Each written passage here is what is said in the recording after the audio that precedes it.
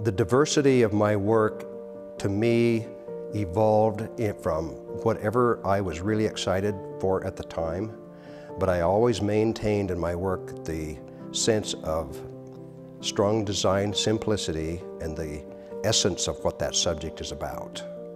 And so there may be a wide diversity, but there are certain things that tie them all together.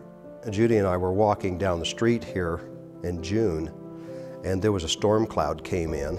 That storm cloud was really an interesting thing, and it was off right just off to the to the west here, and uh, it had been raining a bit, but it was also at sundown, and so this light was just shining through that over Umpqua Bank. So I put uh, rain cloud at sunset at Umpqua Bank, and that painting's here. so see, it could be just something as simple as that.